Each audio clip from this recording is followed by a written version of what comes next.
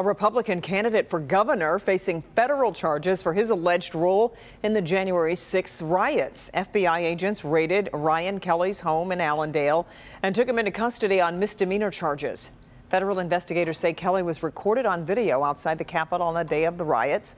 Kelley is one of five candidates on the August 2nd Republican primary ballot.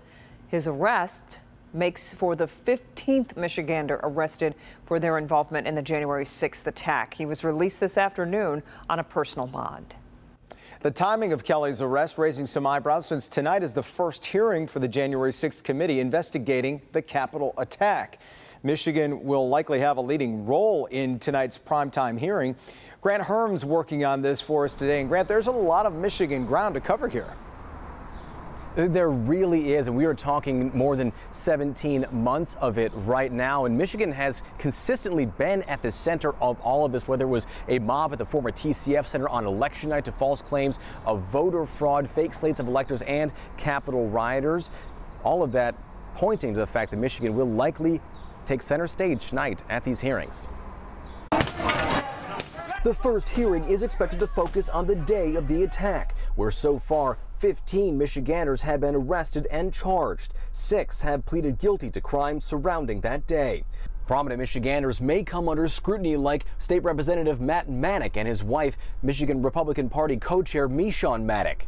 The pair helped charter more than a dozen buses to the Stop the Steal rally. Matt Maddock was also among the 16 false electors who attempted to submit forged election documents, giving the election to former President Trump.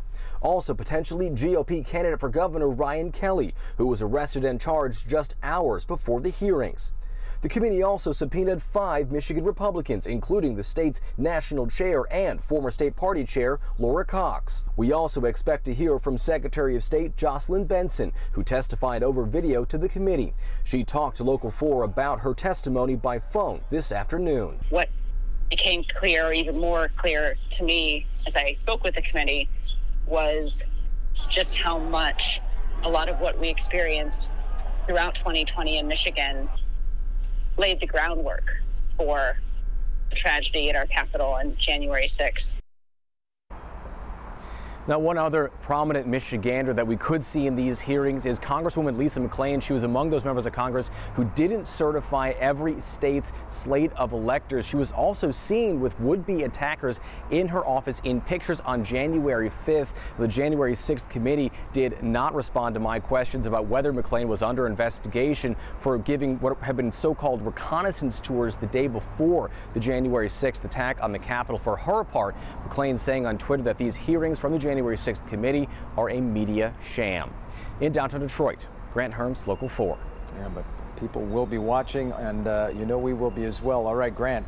Uh, the nine-person January 6th committee is made up of seven Democrats, two Republicans, and it'll make its case for 90 minutes during prime time tonight. You can watch that right here on Local 4 and Local 4 Plus. Our special coverage starts at 8.